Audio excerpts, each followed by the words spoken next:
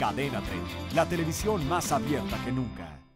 Momento de saludar a mi compañero Efren Argüelles con toda la información de lo que ocurre durante la madrugada en la gran Ciudad de México. Efren, buenos días.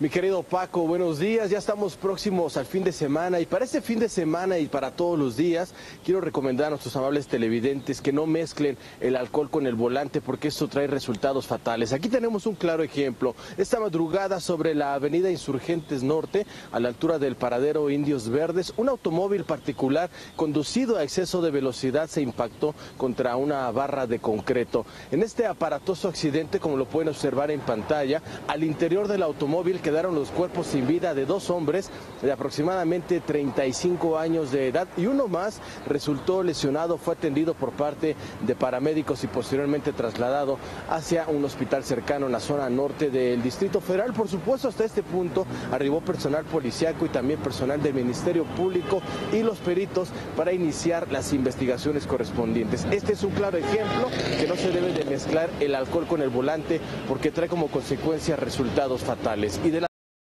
Suscríbete a nuestro canal de YouTube para que siempre estés informado de las últimas noticias de México y el mundo. Empieza ahora mismo dándole clic a estos videos.